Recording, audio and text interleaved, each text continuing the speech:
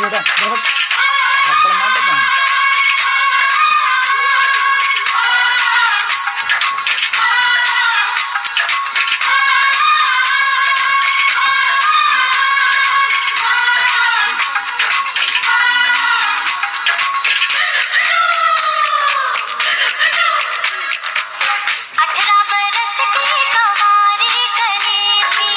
घूंघट में